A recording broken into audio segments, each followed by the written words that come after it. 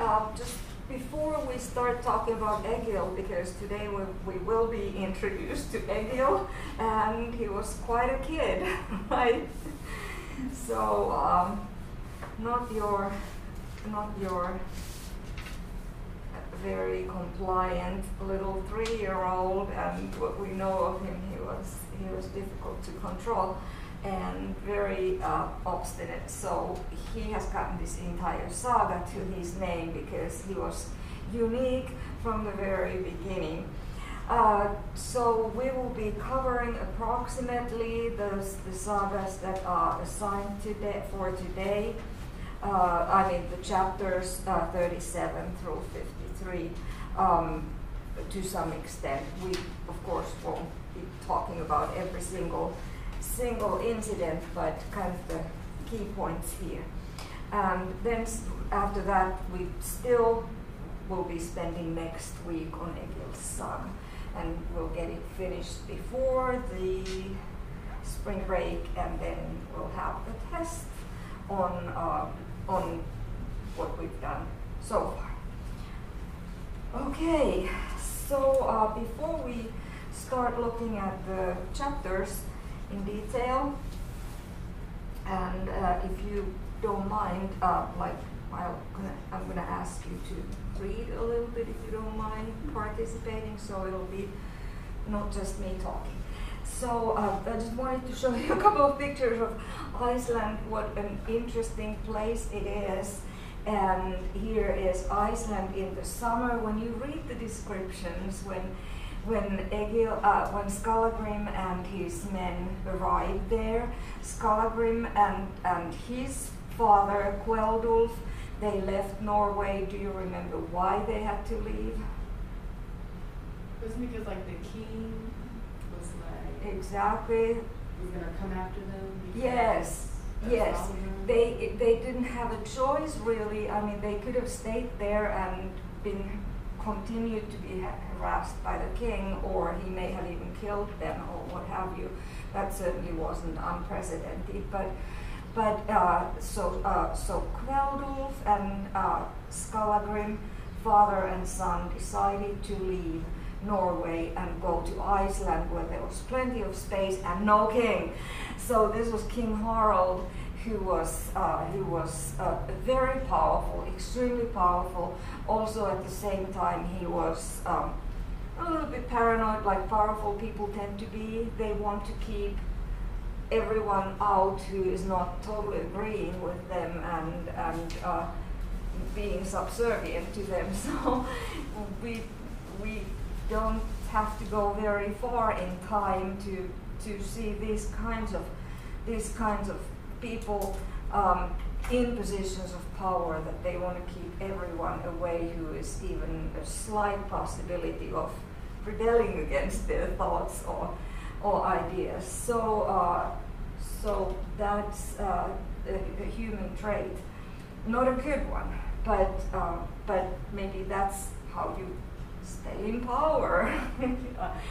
um, I would think that there are other ways of doing that too. But Harald certainly wasn't hesitating to resort to violence and, and, and nasty things in order to get to keep his power. So uh, Kveldulf and Skallagrim left. Uh, what happened to Kveldulf on the on the journey there?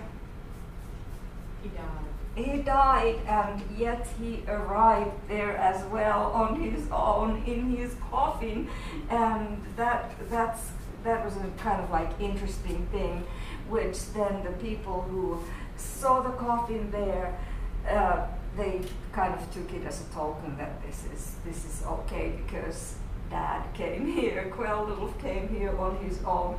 We're to settle here, and uh, they came in the summer because that's when the Vikings traveled. They um, they couldn't travel uh, during the winter. Uh, the climate was much too harsh. So you get this in these stories. You constantly have have uh, these descriptions or these mentions that they wintered, they stayed over the winter in this particular place, and then spring comes, and these Viking men they become really kind of restless. They need to get going again, and it's during the spring they they make their boats ready, and uh, they pack their boats. They collect men to come with them, their their friends, their servants, their their trusted friends, and they, then they go for the summer on these on these. Uh, uh, voyages, uh, and often you saw in these readings that they often went to plunder. They went to, to places where they could just, you know, get some riches. Um, here is uh, Iceland in the summer, and you see, you know, it's this rough, rough, uh, yet beautiful place. Um, but had they arrived there in the winter, this is probably something they would have seen. So, uh, so I just you know pulled some a couple of random pictures of Iceland in, in the winter, and uh, and it's not an inviting inviting place in the winter. Of course, it can be beautiful too. You have the aurora borealis there in the winter, and they've got the glaciers, and but they also have these lava fields because they have volcanoes. So you've got these. If there's a reference to black sand, that's the that's the lava, and um, it's it's just different, um, very different, and yet about fifty thousand Nor people from Norway went there. All right, so Egil's saga continues, and um, and I posted this. I hope you found this on the, uh, or will find this on the uh, weekly work under Icelandic sagas, the sagas of Icelanders. In, in that bigger folder. And uh, just uh, to make it a little bit easier for you to kind of like figure out who is who, because we've got a lot of characters in these sagas, and, and many of their names start with the same same morphemes. So, uh, so you know, you, you need somebody whose name is uh, is a little bit different. It's like okay, I can keep this this separate from the others, but but uh, if you just keep and and we talked about this last time that it's even a good idea to perhaps uh, build your own family tree to kind of keep everything everything in uh, mind. So we've got uh, Kveldulf here, and uh, who he was married to Salbjörg, uh, who was the sister of Eyvind and Oliver or Olvir. Uh, note that in different translations of the sagas, this is from a different translation, different edition, uh, different book. So uh, you sometimes have variations on how the how the words are written. How, and so here we have um, the Kveldulf, um, the Night Wolf, whose son is uh, sons are Skallagrim and Thorolf, and they are Skallagrim Kveldulf's son and Thorolf uh, uh son. And uh, so they were brothers, different brothers, and that's kind of like a key to it. Very uh, ambitious and uh, and handsome and good, very good looking. Skallagrim gone bald uh, early at his age. So Skallagrim was married to Bera, and Bera's father was Yngvar, and we will be introduced to Yngvar, but he's just a side character in in our readings for today. And uh, so, um, what has happened to Thorolf so far? Um, in the beginning, the king was like, "You or like they'll have to serve me. And then he ended up going to. Yes. Yes. So he went to he went to serve the king, and uh, Skallagrim refused to. Kveldulf had refused to. Kveldulf had told Thorolf that this is not going to lead into anything good if you go and serve the king. But Thorolf was, you know, more kind of like politically ambitious, I guess, and and he went and um, and he ended up getting crosswise with the king anyway. and ended because the king was manipulated. He was very manipulative, manipulatable, and he was manipulated by whom? Wasn't it Hildred's sons?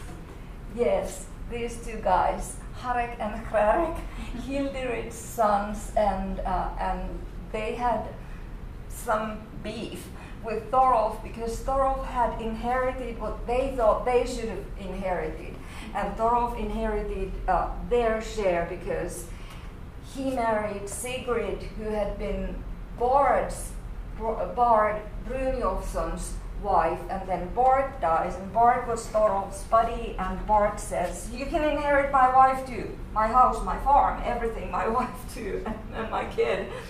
And that's what ended up happening, and, and here we have these, these two guys who were very bitter because Thorolf had now what they should have had, and Thorolf was not very kind to them. It was just like, oh, I can't help you, sorry. And uh, and uh, they go to the king. I'm just doing a quick run through of what has happened so far. They go to the king and start talking bad things about Thorolf, who maybe who is probably planning a coup against the king, and the king believes that, and then that's that's what uh, ends up being Thorolf's end. So Kveldulf um, mourns. His son, of course, Skallagrim, mourns him too, but he wants to get even. Don't complain, get even. That's the Viking uh, approach to life's problems, and um, and then that leads to to uh, to problems. Because then the king, of course, uh, knows that there may be this avenge thing because the king himself had killed Thorolf, had dealt the uh, final blow to him.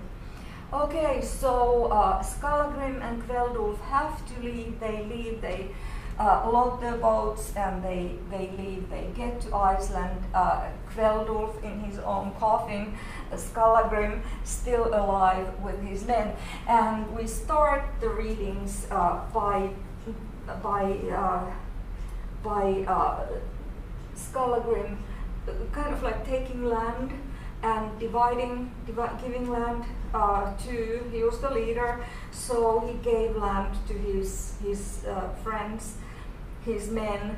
And so you you stay here, and so you kind of you know get these these long descriptions of where they settled and where they built farms. Now, Skallagrim did not just build one farm, um, he built several farms in several different places, so he was a very wealthy uh, person. But I mean, the similar kind of a thing happened here in, in the West, in, in Texas. People came here, there was land to be taken, sometimes it was taken from the natives, and uh, I mean, quite often, but here we didn't really have there there were no no natives in that sense. So it was a nice place to go to uh, rough as it was especially during the winters. But you could establish yourself there. And and a similar kind of thing happened uh, like from England a lot of people came to America because they were like the second sons in the order of of inheritance. And the oldest son, typically in England, got the, or in many other places of Europe too, the oldest son got the homestead. And the second son had very few options that they could become preachers or lawyers or something like that, but they would not be able to get part of the part of the their homes, the, the inheritance of the house, because it was very strongly believed that you, in order to keep the the uh, farm, the estate going, you can't split it into pieces, and then that led to a lot of the second sons, just like, okay, I'm leaving this place because there's nothing for me here, so I'm going to go to America where I can have as much land as I want. And that's the story behind many of the, the early settlers. So here we have early settlers too who could also have a lot of, lot of land as much as they, they were willing to take care of. So Skallagrim was very, very industrious. He, uh, he built all these farms in places that allowed him to do something. And then we have this one chapter where they uh, say about you know Skallagrim's uh, chores, what he what he uh, liked to do. He there's this one description about his uh, his uh, ironmongering that he uh, he found this place where he could he could do iron work and um, and he didn't have a, a strong enough uh, plate or whatever you call that. Area of expertise uh, tried to use some wood, but the wood wasn't hard enough, so he dives to the bottom of the lake to get the right kind of stone, and that's where he, uh, as an anvil, I guess, is that the word? So anyway, uh, it's uh, it's he has sheep, he has cows, and um, and he does all kinds of things. So this is of the works of Skallagrim, uh, chapter 29, actually last, um, last time's reading still, but anyway, so Skallagrim was an industrious man. And uh, what we also have here is we have a little bit of this chain migration thing, because how do we end up with with all the people going there because one person comes and then part of uh, his, his friends also want to follow up. So we have, uh, that's on page 49, shortly after Skallagrim arrived in Iceland, a ship made land in Borgarfjord. It was owned by Olaf, Olaf, Olaf, Olaf Hjalti, who had brought his wife, children, and relatives with with the aim of finding a place to live in Iceland. He was a rich, wise man of good family. And, uh, and so we have, you know, Skallagrim invited uh, him and his, his family to stay with him. And you notice that that happened, there was this hospitality. If somebody comes from Norway, then we who are already established here, we're kind of like obliged to invite these people over. And, uh, and you notice that uh, very often it's explicitly mentioned that this person accepted the offer. So it's this kind of like, you know, politeness that I offer you my place and it's then your obligation to accept the offer. So that often, very often, it led to, to bonds, friendships, and people were like forever kind of like, like bonded together because of the long winter that they had uh, lived uh, in, a, in a sense together. Of course, these places could been very big, so anyway. So uh, the, the stories, uh, the chapters, they go kind of like back and forth between Iceland and Norway. So chapter 30 takes us back to Norway. Meanwhile, in Norway, King Harald Fairhair confiscated all the lands left behind in Norway by Kveldulf and Skallagrim. So they knew that this is going to happen.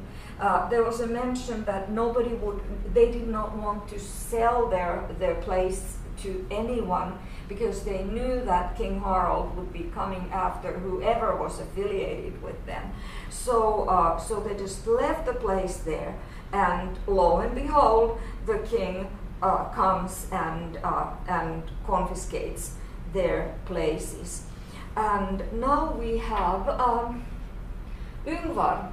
And Yngvar's problem, Yngvar had to also leave to uh, Iceland because Yngvar's problem was that his daughter Bera was Skallagrim's wife.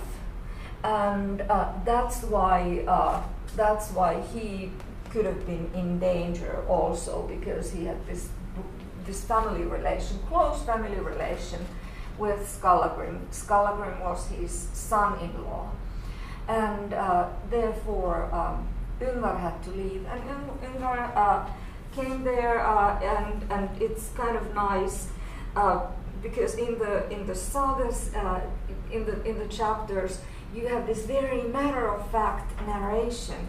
But then uh, sometimes it's like, and it was a joyful reunion. And people haven't, if you if you imagine, it's not just like you know taking taking your car down to Houston to go and meet your friends there. It's it's days and weeks uh, planning, and uh, I mean weeks and months planning, and then then the travel across the sea, uh, which is very dangerous, and then you don't know where you even land there in Iceland, and people landed in different places, and they have to find whoever. But uh, word traveled extremely well without the kind of media that we have or telephones or text messaging. People always kind of like found each other. Now somebody has arrived and this is such and such a person and then there may be a joyful reunion. So uh, then we finally get to Egil. Um, we have um, Bera and Skallagrim had uh, the, the uh, saga tells they had several children, but a lot of them died. Child mortality, of course, in in the medieval world uh, was enormously huge, and uh, and it it still. I mean, that's it, that that problem has been fixed relatively recently and uh, and so so they have lost a lot of children as as babies and as as uh, toddlers and very young, but uh, they had a son who's uh, their firstborn. I mean, older son was Thorolf, not firstborn, but uh, but he was. Uh, Thorolf, uh, Skallagrim's son, and uh, Bera's and Skallagrim's son. Handsome, tall, uh, nice, And then several years later, they had Egil. Egil uh, is explicitly said to be ugly like Skallagrim and very unlike his brother Thor- Thorolf, just like Skallagrim was very different from his brother Thorolf. Of course, Thorolf is named after his dead uncle, Thorolf. So, you know, we get this, this uh, recycling of names in the same way as, as is still the habit very often in today's world, names get recycled, family names get recycled. So Egil is born, and we're introduced to Egil. Egil in uh, in uh, um, on page fifty-one. Um, so would uh, either of you, could you read uh, starting from page 51, 30, uh, 31? Yeah. 34, yes please. Yeah, I got it. Okay. Uh, Skallagrim and Bera had many children, but the first ones all died. Then they had a son who was sprinkled with water and given the name Thorolf. He was big and handsome from an early age, and everyone said he closely resembled Kel-. Veldulf's son, Thorolf, mm-hmm. after whom he had been named. Thorolf far excelled boys of his age in strength, and when he grew up, he became accomplished in most of the skills that it was customary for gifted men to practice. He was a cheerful character and so powerful in his youth that he was considered just as able-bodied as any grown man. He was popular with everyone, and his father and mother were very fond Skallagrim and Bera had two daughters, Seon and Loron, who were also promising children. Skallagrim and his wife had another son who was sprinkled with water named Egil. Egil. Egil, mm-hmm. sorry. As Or he grew Egil, Egil eh, probably in Icelandic, but in English would probably Egil. Egil, yeah. As he grew up, it became clear he would turn out very ugly and resemble his father with black hair. When he was three years old, he was as big and strong as a boy of six or seven. He became talkative at an early age and had a gift for words, but tended to be difficult to deal with his games with other children. That spring. Ingvar visited Borg to invite Skallagrim out to a feast at his farm, saying that his daughter Bera and her son Thorolf should join them as well, together with anyone else that she and Skallagrim had wanted to bring along. Once Skallagrim had promised to go, Ingvar returned home to prepare the feast and brew the ale. When the time came for Skallagrim and Bera to go to the feast, Thorolf and the farmhands got ready as well. There were fifteen in the party in all. Egil told his father he wanted to go with them. They're just as much my relatives as Thorolf's, he said. You're not going, said Skallagrim, because you don't know how to behave when there's heavy drinking. You're enough trouble when you're sober. so Skallagrim turns out he's three. um, so Skallagrim mounted his horse and rode away, leaving Egil behind disgruntled. Egil went out of the farmyard and found one of Skallagrim's pack horses, mounted it, and rode after them. He had trouble negotiating the marshland because he was unfamiliar with the way, but he could often see where Skallagrim and the others were riding when the view was not obscured by knolls or trees. His journey ended late in the evening when he arrived at Alfheim's. Everyone was sitting around drinking when he entered the room. When Ingvar saw Egil, he welcomed him and asked why he had come so late. Egil told him about his conversation with his father. Ingvar seated Egil beside him, facing Skallagrim and Thorolf. All the men were entertaining themselves by making up verses while they were drinking the ale. Then Egil spoke this verse. Yes, so he is, uh, it turns out, this verse tells us how old Egil was when when he just like I'm not staying behind. Uh, I, this is unfair. I'm gonna take my my horse and a horse and, and go and ride after them. And here it it shows that he was he was three. I would think that he must be closer to four than closer to three. But anyway, he, he that's uh, that's the uh, designation here. So he was a he was a weird little kid. So I have come in fine fettle to the hearth of Ingvar, and Ingvar was, of course, Egil's grandfather because Ingvar was his mother's father who had just uh, recently arrived to Iceland from Norway.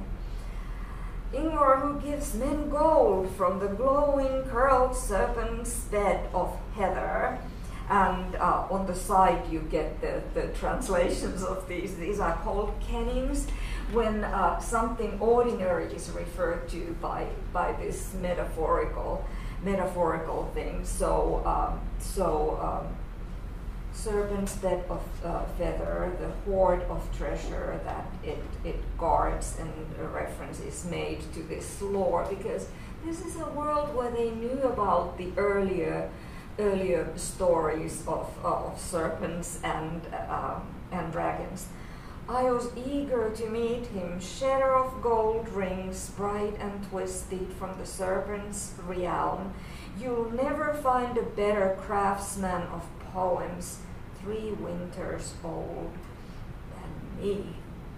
He believed in himself and he was not to be not to be left behind. He wanted to go to see his grandfather, just like everybody else. So uh, we will see this uh, kind of a situation occurring later on when Egil cannot go somewhere because he is ill or he's not wanting to, to go, and even as an old man, he is again left behind, but he doesn't let it bother him. So, interesting, interesting person. Okay, thanks. And then, um, then we are shifting back to Norway in uh, in 32. There was a powerful Hersir, uh. And again, you know, you want to check what Hersir is. It's a powerful man, a kind of a, a community leader uh, who has good connections, a lot of wealth, and so on.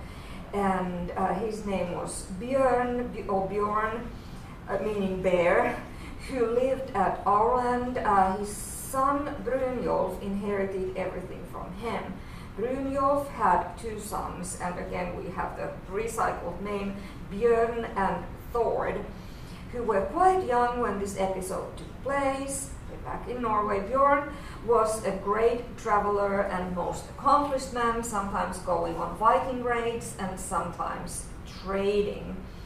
So sometimes they did the, you know, the what we would call the honorable trading, uh, but uh, their notion of honor was quite different. Uh, raiding seemed to be seemed to be not considered as what Christians would call sin and stealing. and at, the, at, that process, they ended up often killing a lot of people, taking their stuff. Uh, we'll come to a very interesting, uh, interesting uh, situation where, um, where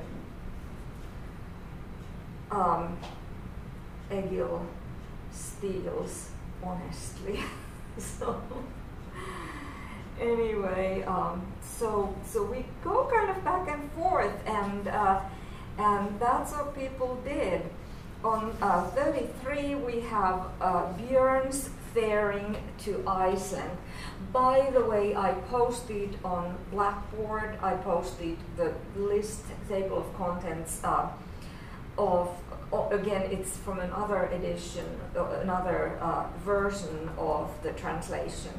But what you have there is, because it's a table of contents, it has the names for all the chapters. So now we have just the numbers. But if you want to kind of like look at look at a synopsis of what happens where, then that's a that's a good resource. Keep in mind that the names may be written a little bit differently. Don't let that bother you. Okay, so uh, of Björn's faring to Iceland in, in 33. Uh, they go to, very, very different places. Uh, like here, for instance, just before winter, a ship arrived in Shetland from the Orkneys. So we're going towards what is Britain now. So the Orkney Islands, uh, Shetland, those areas there. And uh, they, um, they tried to go there, and yet um, they ended up having to go to go to um, Iceland from from there. And then Björn ends up going to Skallagrim. Uh, but there's a problem with Björn uh, because he had a wife who if it's it's probably not on here. Yes, it is. So um, yeah, we have um, Björn again. This is from a different uh, different source.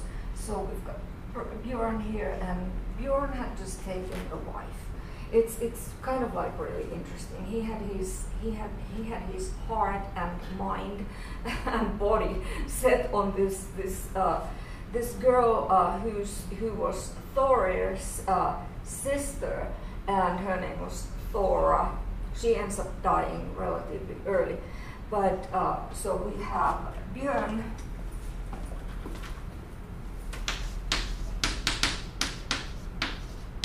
And Thora, so he just goes and steals her, and uh, and he first first does the proper thing and asks for her hand, but Thora herself says no, I'm not interested, and um, and he doesn't care. He goes back and, and picks her up and takes her takes her with with him to his raids toward England, and, and uh, there um, um, he ends up marrying her. So he makes her an honorable woman, and uh, they end up having a daughter whose name is Asgerd, and um, and she becomes kind of, you know, an more important character then, but Thora herself dies.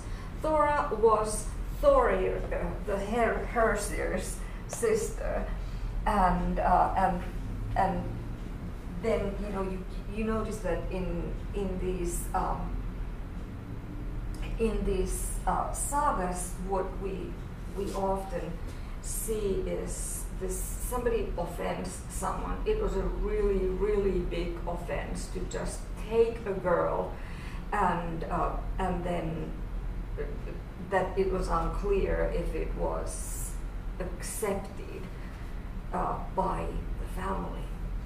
And here the family was the father, I mean the brother, and uh, and uh, it's just burned in care. Um, and then we have this back and forth that we somehow have to make good of having done something that was bad according to the norms and customs and rules of that that that world and uh, and then there's always someone like a middleman okay i'm to go there and I'll, I'll speak on your behalf about this this whole thing.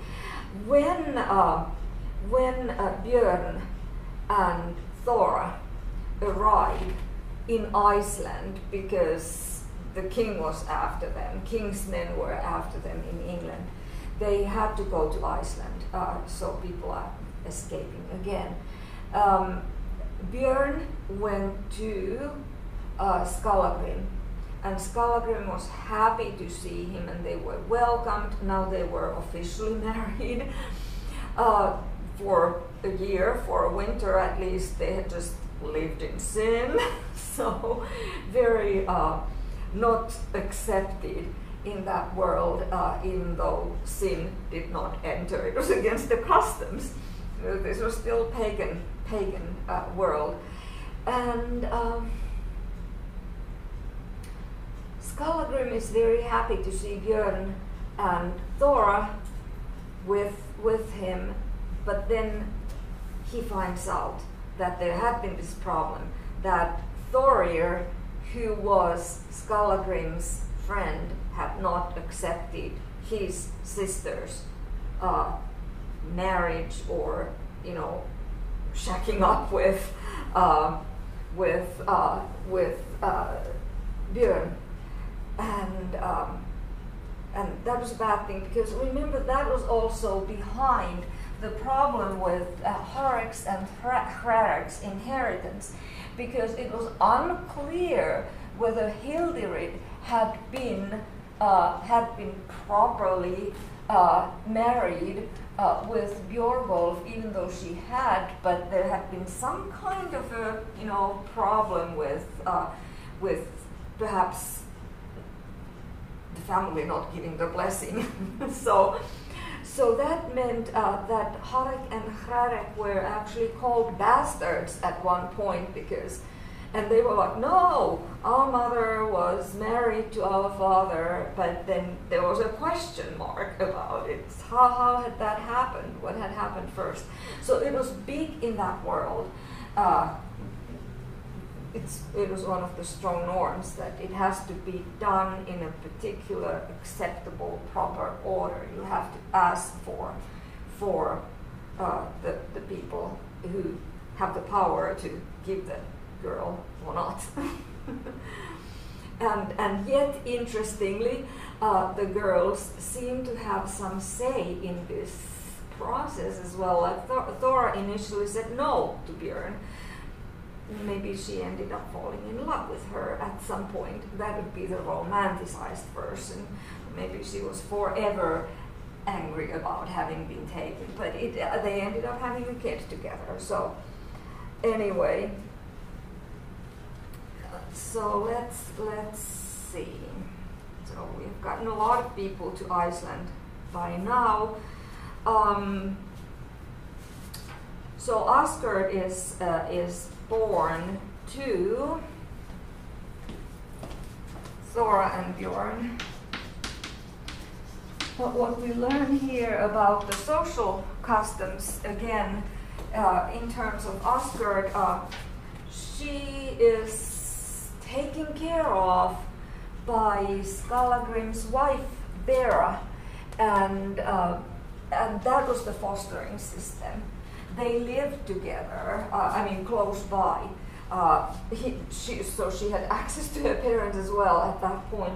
But then the parents want to go back to Björn, and uh, Björn wants to go back to Norway, and Thor comes with him, goes with him, and uh, Asgerd is, and Bera asks if Asgerd could stay in Iceland, and they're like, okay, fine. so, you know, and this is not like going away, uh, parents going away on a date for a weekend or what have you. This is like for months and months. And they ended up uh, actually staying there um, in, in Norway. Well, they are reunited later on. Thor dies, but, uh, but Asgerd goes back to Norway. So if we fast forward a little bit here is uh, time comes for Thorolf uh, Skallagrimsson to he becomes restless. Spring comes. He wants. He's in, in Iceland. He wants to go to Norway because his buddy Björn, because he's been following Björn, Björn when Björn was living in Iceland, uh, on their estate in in in uh, a sense.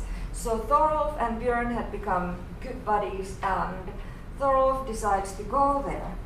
Now, uh, Egil says, I'm coming with you.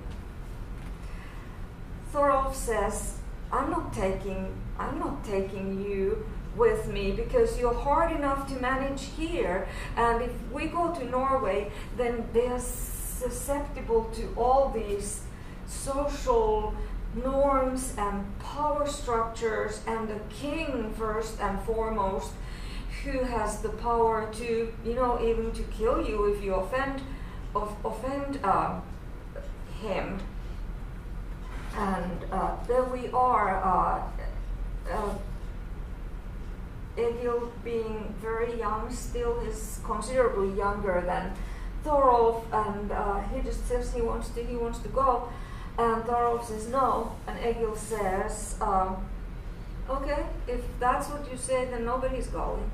And do you remember what he does? What does Egil do? Doesn't he wreck the ship? Exactly.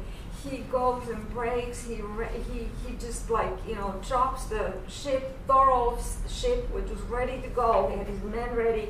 They were just you know getting getting ready to get started, and uh, and Egil um, does this horrible thing. Um, so um, this is on page 64. Um, in the middle here, um, a little bit lower than the middle, when it became known, most people condemned uh, the trick that Egil had played. Trick, I mean, you know, it's, it was a pretty bad thing. But he answered that he would not hesitate to cause Thorolf more trouble and damage if he refused to take him away. Other people intervened in their quarrel, and in the end, Thorolf took Egil abroad with him that summer. So, you know, you, you, he, he had a way of getting his will done. But again, we have this Egil's to be left behind because he's the kid, he's the young one, he's difficult, he's impossible to manage. So Egil is Egil can't be taken there. And so we see this repeated pattern, but he, he gets his way and he's going with them. And so is uh, so is Asgerd, and uh, and uh, uh, Thorolf actually wanted her to go so that she can be reunited with the father, and Bera uh, agreed that that um, she can go. So um, let's follow up now. We are in in Norway, and uh, you have these friendships developing. Uh, Thorir, uh, the Hersir. Um, where is he there? So he has a son whose name is Arinbjorn, and uh, he became really good friends with Egil. Um, so Egil kind of like latched onto him and uh, and followed. Egil was following Arinbjörn in the same way as Thorolf had been following Björn uh, earlier, and they became good friends. Arinbjörn was about the same age as Egil, a little bit older. So uh, it was like this role model and they ended up living at Thorir's place. We have a different king now in um, in Norway. Uh, there's been a generational change. King Harald has died, and his son Eirik has become the king.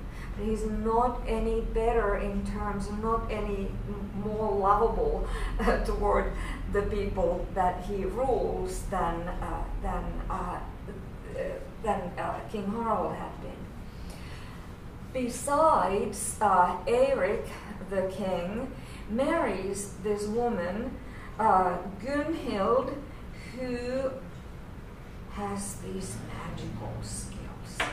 And, uh, and she turns out to be um, a, a big force, a powerful woman behind a powerful man in so so to say so he kind of like you know guides okay these people are not you you should be putting your foot down uh, and not allowing them to do whatever they want. And them is again we have Egil. So we have this this this feud that had been going on between uh, Harald King Harald and Kveldulf and uh, Skallagrim, um, it continues in the next generation between King Eric and now Egil. So it's it's the same thing. Uh, the same thing continues because Egil is not going to be taking orders from anyone he's his own person, and, and then we end up in these, uh, in these difficult situations, which further the plot very nicely, of course. So, um, so let's go to 42, and uh, it's on page 65. Um, Thorolf Skallagrimsson, would you mind reading from the beginning of this? Okay. Throst Grimson asked Honeycomb Thorir? Thorir what he would think if he asked for the hand of his niece Asgerd in marriage. Thor answered favorably and said he would support him. Then Thorolf went north to uh, Sognefjord, something like that. With the fine band of men and reached Bjorn, Bjorn's house. Mhm. He was welcomed warmly there, and Bjorn invited him to stay as long as he wanted. Thorolf soon raised the matter with Bjorn and asked to marry his daughter Asgerd. Bjorn took the personal took the proposal favorably, and it was easily settled with the result that the pledges were made then and there, and the date was set for the wedding, which was to be held at Bjorn's farm in the autumn. Thorolf went back to Bjorn and told him the news of his journey. Bjorn was pleased that the marriage had been arranged. Yeah. When the day came around for Thorolf to attend the wedding feast, he asked people to join him, inviting Bjorn and Arinbjorn Mhm. first with their farm and more prominent tenants, a large party of worthy men. Just before the date, when Thorolf was supposed to be home, when his party had already arrived to accompany him, Egil fell ill and was unable to join them. Thorolf and his men had a large, well-equipped longship and proceeded on their journey as planned. Great. Um, isn't it kind of endearing that there's this uh, a man goes and asks a relative if I can marry this girl, and uh, and if it's agreed, then a date is set for a wedding, and I it's like we we get our traditions. Uh, I don't think uh, there is this formal asking for a woman's hand anymore from male rel- relative, but the date setting is still something that is uh, that is an important part of this this cultural tradition. So, um, so we are here. We have another marriage here, marriage bond, and of course, these marriage bonds they they enforce the relationships between because when when you marry someone, then that entire family becomes part of your kin, and you are uh, obliged to take care of your kin uh, against whatever feuds may happen in the in the future. So um, if we go to 67. Okay, by the way, you notice again, Egil fell ill and was unable to join them. So everybody else leaves and they leave Egil behind because he's ill. But then he, he goes um, he goes on his own way when he gets a little bit better before anyone anyone um, returns. So they end up going. Um, he Egil is recovering from his illness and he's back on his feet. This is 43 actually, feeling bored. Um, it's you know th- these kinds of comments they kind of like make make these people very real that Egil was ill and everybody else is in this wonderful big feast, wedding feast, and, and he's feeling bored. Feeling bored there after everyone had left, he approached Olvir and said he wanted to go with him. Olvir is a work person for Thorir, the powerful Hersir, and so it's, he's, a, he's a respected man, a farmhand, um, man- manager of the farm and so Olver is leaving to collect money from, you know, taxes from people uh, that have been kind of like left behind, overdue taxi, taxes, and uh, Egil asks to go with him. He said he wanted to go with him. Olver thought there was plenty of room on board for such a fine man to join them. So Egil went along too. Egil took his weapons, a sword, halberd and buckler. I don't know what kinds of weapons these are, but I'm sure they are Googleable, and I should have done that. Okay, once their ship was ready, they set off, but encountered rough weather with strong unfavorable winds. All the same, they proceeded vigorously, rowing when they needed to, and were drenched. Okay, what we very often get as a description that there was favorable wind, uh, the winds were favorable, or the winds were not favorable. And sometimes this seems to be like a metaphor of how a particular journey is going to turn out, whether the winds are, winds are favorable or not. In this case, the winds were not favorable. They got totally drenched in the in the boat, and they uh, arrived at this island, which is called Atloy Island, and uh, they got there in the evening. They're totally, totally wet. And this is an island that was that had a large farm that was owned by King Eric, and uh, and then there was this Bard person whose name was Bard Atloy Bard, a good steward who who served the king well he was not of a great family, but was highly thought of by King Eric and Queen Gunhild.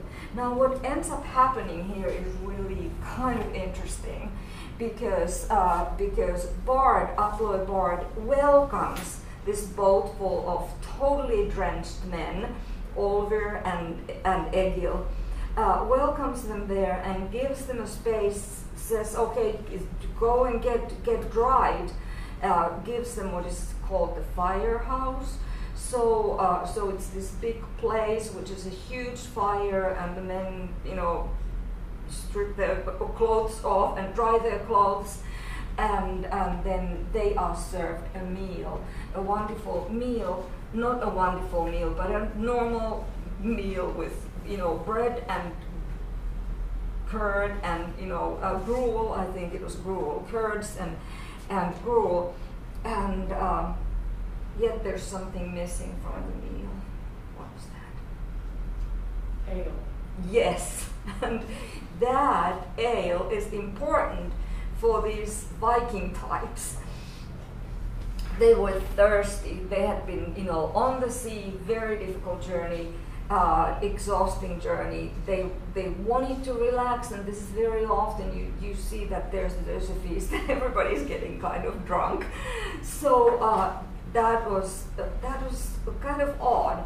Well, of course they were thankful that they were able to stay there, but there was no ale, so they drank the curds, and um, yet there was a reason why Bard did not take care of Olvir and his men, Egil included, because what was the reason?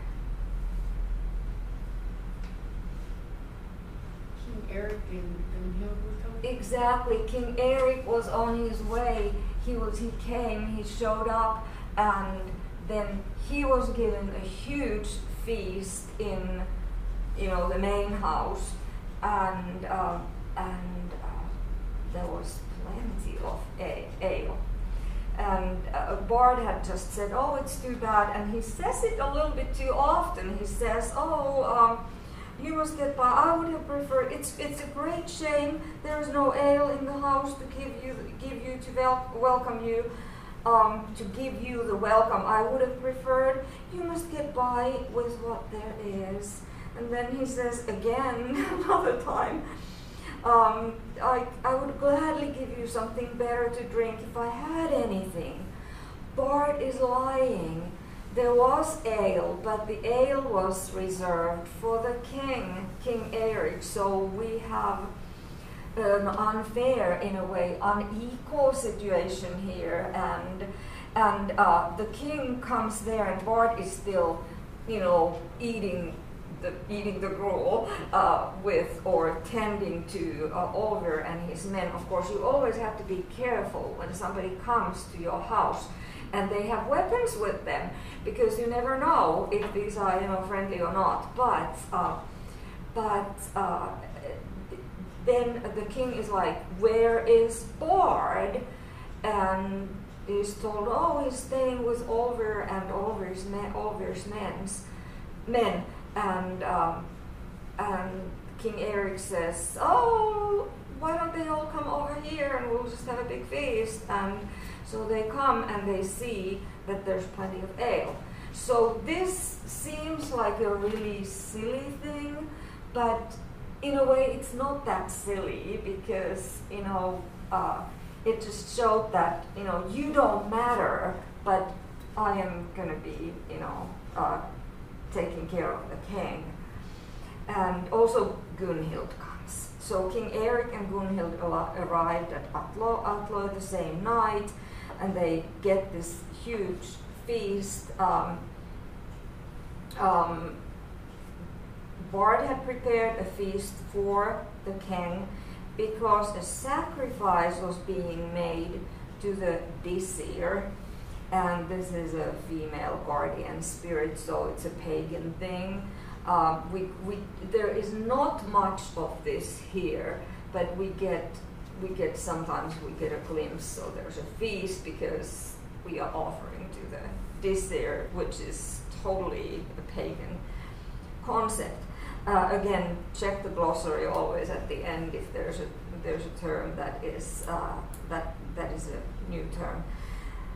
So, um, by the way, talking about uh, talking about these religion-related things, uh, we also read that that there, there's sprinkling of water when when a child is given giving given a name, and it's it's really really interesting. So it's just like you know our baptism. So um, there is not much indication that that these were still pagan, but some of these traditions they may be I don't know, but it, there, there, there is. It's kind of like okay, this is familiar. I know this. You know, you put put water on the on the head of the baby, and the baby gets the name.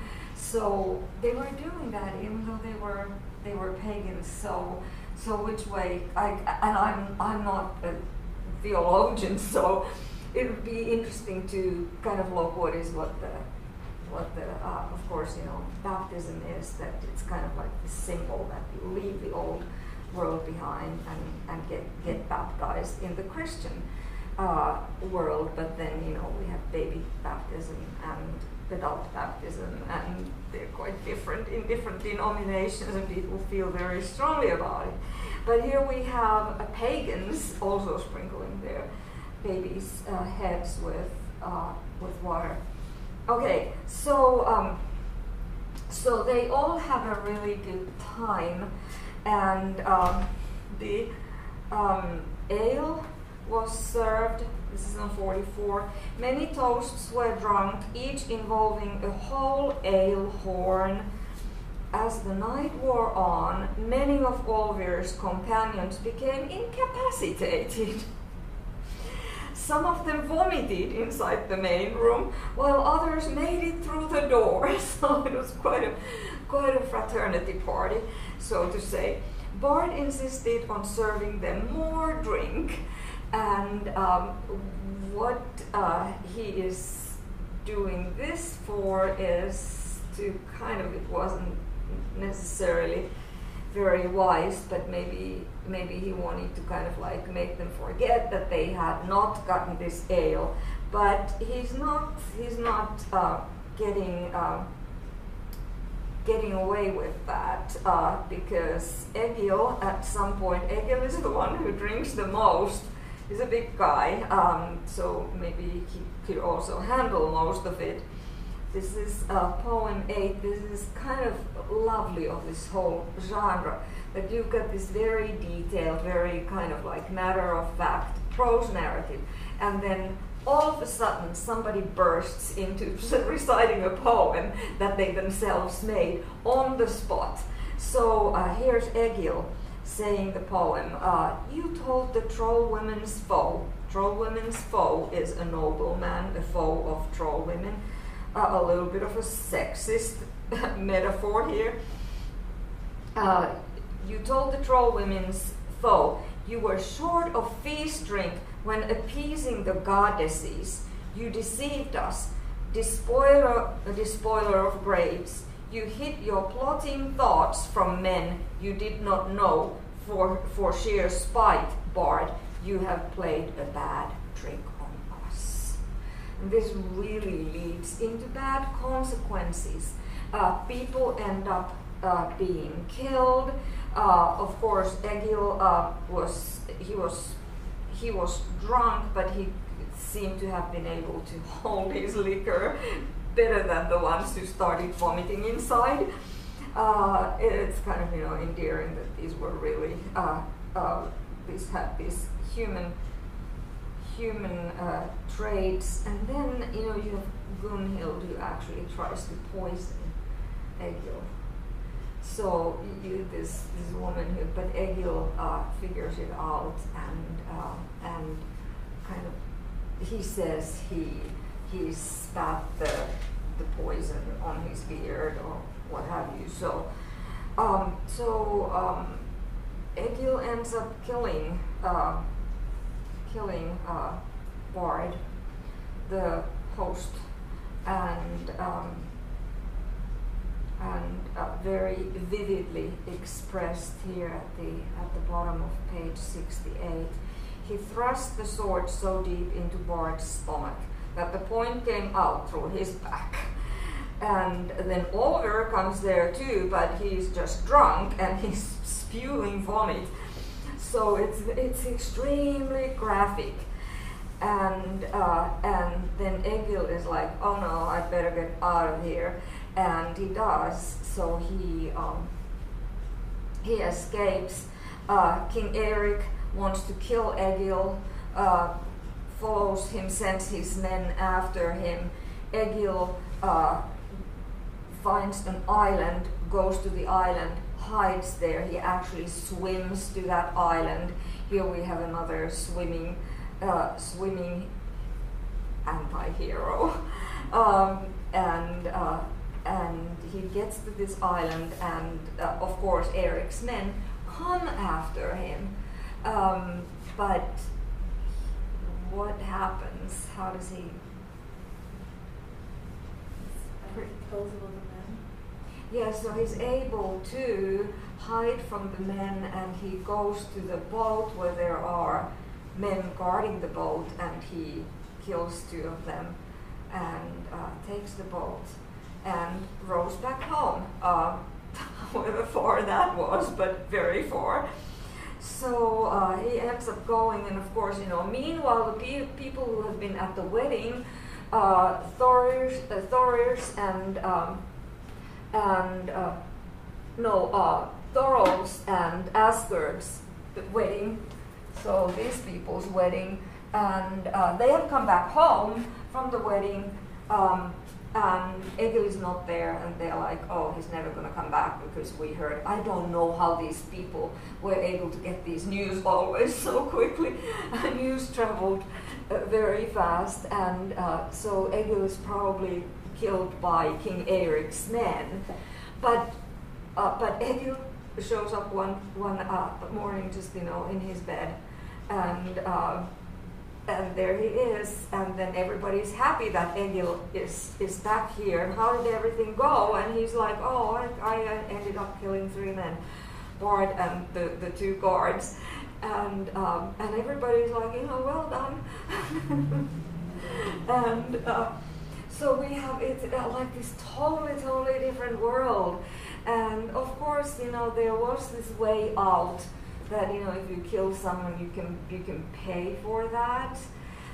So uh, it wasn't that, uh, but it but it's this this tr- strange uh, honor.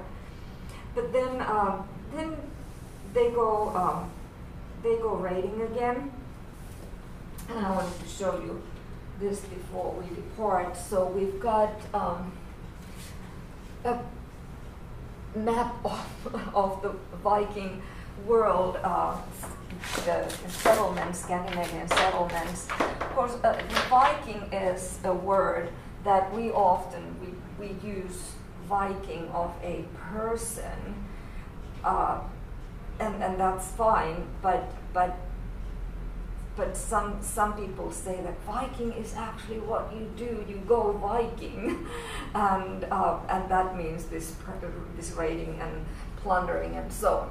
All right. So what we have here is uh, where where Egil Saga begins. It's Norway. Uh, that's where Kveldulf's uh, farm was, and and this is the the uh, west coast of Norway, and people go up and down, up and down. They sail, sail, take their boats, and and and go uh, whenever they need to go. And uh, this is all water, so very often this is the place called Vik, V-I-K, which just means bay, and it's where, like you know, today Sweden is. We already are familiar with this this place here because that's the Beowulf's stomping grounds and um, and and they they go along the the, the river here. So we mentioned uh, Denmark is mentioned, and they go all the way up here. But sometimes they also there's a mention that they also went to Permia or Bjarnland. Um, sometimes today referred to even as not really Karelia, but but close close there. The Karelians were mentioned. So so they uh, they have gone. Sometimes they go across the um, across the land uh, along rivers uh, or waterways. Uh, but I don't know how they went there uh, because going the northern route was uh, well maybe maybe during the summer they went on to to be very good navigators and and, um, and sailors. So this place is mentioned. They went there to plunder, and then they go to uh, Kurland to uh, to plunder there very far. That's mentioned in Egil's saga. Then also uh, place is Baltic, uh, Baltic states. We've got today's Latvia and Lithuania here, Estonia. So these are the the Baltic uh, places where they went. Uh, Denmark, um, some interesting interesting things happened there. In Denmark, they um, they went to just okay, let's let's go and um, rob this place, and uh, and they take everything from there and leave with all this like Egil is carrying this big box of silver stuff inside um, as his personal personal um, whatever um, what do you call that? Like you know as his personal uh, trophy. And uh, from that plundering trip. And uh, there they um, they're carrying all this stuff from that place which they they just took the stuff and, and left the people uh, there and uh, because the people were again they were feasting and getting drunk and they had placed these as as uh, as prisoners there on the forum they get uh, got out uh, and then all of a sudden Egil is like this is not right they don't know that we took this stuff, so I'm gonna go back. Let's go back and and let and let them know who raided them. And they go back and he takes this huge piece of wood which is burning on one side because that was you know you you, you uh, you have this firehouse where you have this huge huge log which is burning on one side and then the fire uh, continues to burn. So it was kind of like an easy way. It's, it was a central heating system in that world. And he took that they took that log and he goes into the main house and and uh, uh, puts the log there. Uh, the, fire starts. People die, but he's he wants to make it clear that they were the ones who took their stuff. And that is the strange strange honor. But and his men were like, "Oh, you are crazy to go back there. This was very successful. We are on our way to back to our, our boats, and we would just let's get out of here." No, Egil wants to do it the correct way. So this is a strange, strange honor system that uh, some of these Vikings are, are following. Right? It's like you know today, some there's there's a bombing somewhere, and then we wait. Okay, which group is going to be claiming this bombing? So it's not that different in a way. But thank you. Uh, that was it. Just little bits and pieces here and there of Egil's saga, and we'll continue next week.